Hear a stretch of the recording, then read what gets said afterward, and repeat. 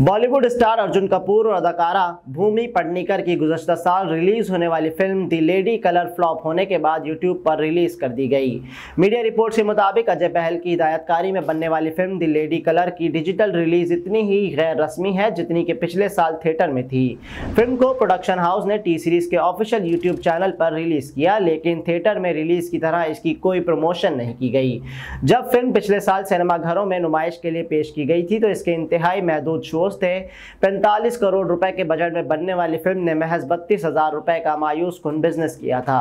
हिदायतकार अजय बहल ने फ़िल्म की रिलीज़ के फ़ौरन बाद एतराफ़ किया था कि इनकी फ़िल्म अधूरी है। इनका कहना था कि ये फ़िल्म नामुकम्मल है क्योंकि 117 सफ़ात पर मुश्तमिल स्क्रिप्ट के महज 30 सफ़ात फिल्माए गए हैं। अजय बहल ने मजीद कहा था कि बतौर डायरेक्टर दी लेडी कलर की शूटिंग करना इंतहाई तकलीफ़ दे था, लेकिन अदाकारों की वजह से बिल्कुल नहीं। अर्जुन कपूर और भूमि पडनीकर के साथ काम करने में काफ़ी खुशी थी लेकिन मसला कहीं और था।